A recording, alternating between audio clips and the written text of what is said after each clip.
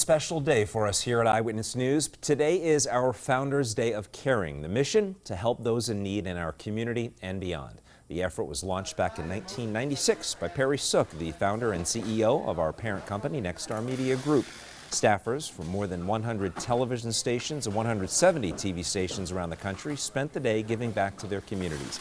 WBRE, WYOU employees volunteered today out at the St. Vincent de Paul Kitchen in Wilkes-Barre, as well as the Harry and Jeanette Weinberg Northeast Pennsylvania Regional Food Bank in Jenkins Township.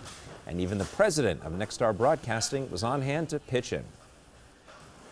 It's all part of giving back to the community.